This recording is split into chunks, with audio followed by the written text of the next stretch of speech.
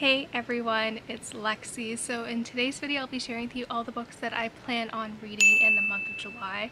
So July is going to be a really exciting month. Now that the finally the Canadian border has opened up for Canadian citizens not to vaccinate going into country. It's really exciting so I'm able to go back and visit my family for the first time in like a year and a half. So I'll be visiting everyone for about uh, a little bit less than a week. So that will be really exciting just to be able to see everyone for since like the last time I was in Canada was in December of 2019 so it has been a long time. So that is really something to look forward to. But because I'm officially caught up with the Inspector Gamache series I can kind of explore different books now because I was so focused on just getting caught up with that series. So I can kind of have books that are all over the place in terms of genre but you guys will know I'm in my backyard if you guys see my vlogs. It is like 100% humidity right now so it wasn't my smartest decision but I was like you know what? In I've almost I've had this booktube for almost six years now and like I've never done a book video outside like this. So I was like you know what? I will brave the humidity. It feels like we're living in Florida but I will brave it for you guys.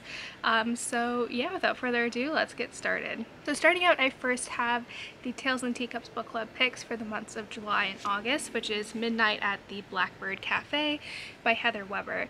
And I have everything linked down below in terms of the Good Goodreads group, Goodreads group and everything if you're interested in participating, but I felt like this one would be a good summer read. So essentially it follows this girl who goes back to this small town in Alabama and where um, after her grandmother has passed away so she's just thinking she'll be in and out kind of close everything. Her grandmother owned a cafe and um, while she's there she ends up kind of falling in love with this town and she's you know finds herself inexplicably drawn to the quirky southern town her mother ran away from so many years ago in the mysterious blackbird pie everyone can't stop talking about. So I'm really excited for this. My aunt is actually reading it right now and she says it's really good so I'm very much looking forward to this and I feel like this is like a nice fun contemporary read you know to enjoy during the summertime. Next up I have a historical fiction and I feel like I haven't read a World War II historical fiction in a while so I'm really excited for this one and it is The Beekeeper's Promise by Fiona Valpy. I have two of her books which are both historical fiction so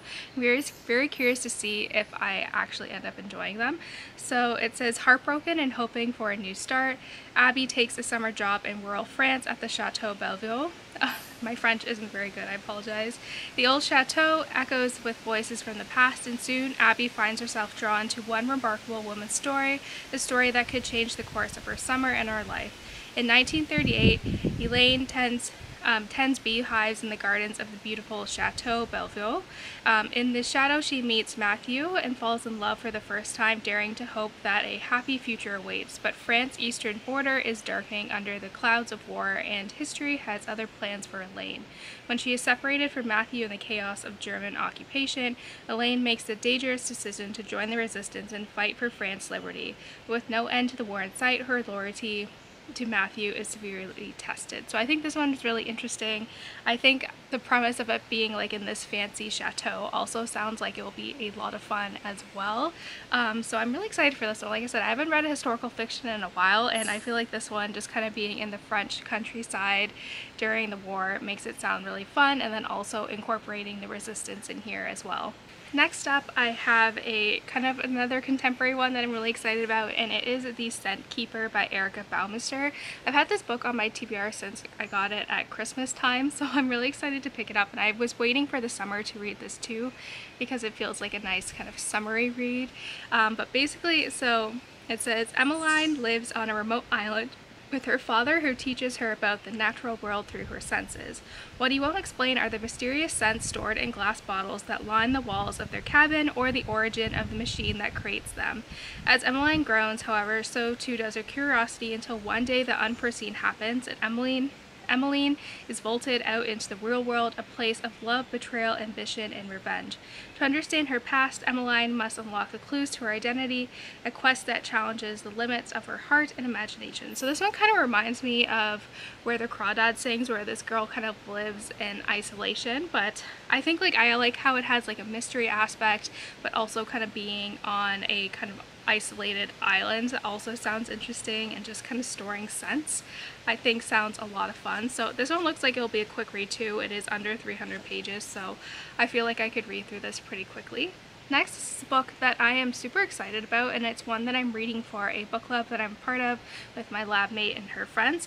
And I don't think I would have picked this book up because it does have like a strange title but once I read the back of the book I was completely 100% on board with this one. It sounds super interesting and it is the, uh, the Girl with the Louding Voice by Abi Dare and this one honestly sounds like it's amazing. So it says the remarkable inspiring story of a teenage girl growing up in rural Nigeria village who longs to get an education so that she can find her louding voice and speak up for herself.